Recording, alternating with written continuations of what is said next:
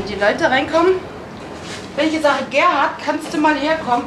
Ich will es nicht so im Geschäftsleben, ist es schon besser, wenn man sagt Chef oder so. Der Chef? Naja, er ist ja der Chef. Manchmal. Also ich jetzt bei der BVJ bin, das ist äh, beinahe ein Versehen, ja. Hab mir nie träumen lassen, dass ich mal zur BVJ. Ich bin nämlich gegen Uniform und da muss ich eine tragen, ja. Es gibt schon sehr interessante Strafsachen und äh, das hört sich jetzt etwas albern an und ein bisschen nach kleinen Mäxchen, aber am liebsten verteidige ich Mörder. Jetzt schimpfe ich mich Schornsteinfegermeister.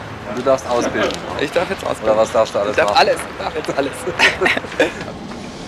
Ich würde sagen, jeder Bäcker könnte einen Konditor ersetzen, zur Not. Aber das sind, wir sagen, von 100 Konditoren höchstens fünf, die einen Bäcker ersetzen können. Das ist kein Quatsch, das ist eine Tatsache. Tja, kann ich dir genau sagen, was es fehlt. Äh, eine nette junge Dame. Ja. Äh, muss natürlich äh, ein bisschen äh, was mitbringen in die Ehe. Und vielleicht zwei Kinder. Aber wenn die uns weiter so besteuern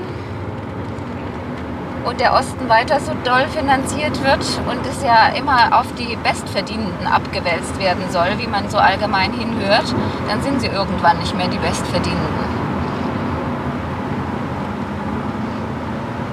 Aber Gott sei Dank gibt es ja nun bald mal wieder Wahlen.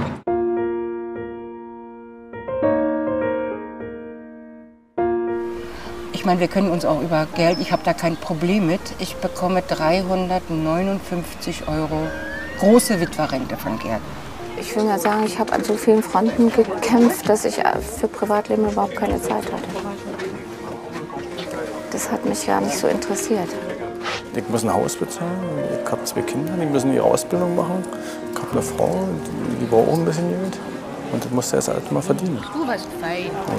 Und wir werden sehen, was passiert. Vielleicht wird es ja auch besser. Je älter man wird, Sie wissen, was jetzt kommt, desto konservativer wird man. Und ich bin ziemlich konservativ. Ja. Wie läuft das jetzt in den nächsten 20 Jahren zwischen euch? So, so wie es die ersten 15 Jahre auch gelaufen ist. Ja. Friede, Freude, Eierkuchen. Guck dir das mal an. Wer ist oder da? Also ich kann mir das jetzt überhaupt nicht mehr vorstellen, dass wir das hier so lange ausgehalten haben. Oder?